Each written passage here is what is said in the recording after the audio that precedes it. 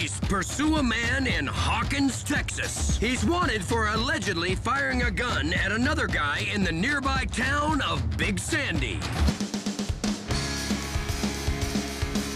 He asks for trouble when he hits those turns at about 90 miles an hour. Finally, he pushes his luck too far and loses it.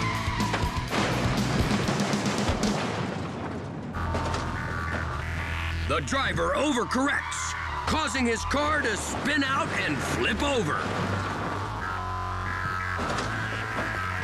Officers pull up seconds later, hoping the suspect was smart enough to wear a seatbelt. While one cop calls for an ambulance, his partner rushes to the crash scene. He expects to find the man critically injured and is trying to figure out a way to free him from the wreckage. There's just one problem. The driver is nowhere to be found. The cops are concerned the poor guy is pinned underneath two tons of car. Then a determination is made.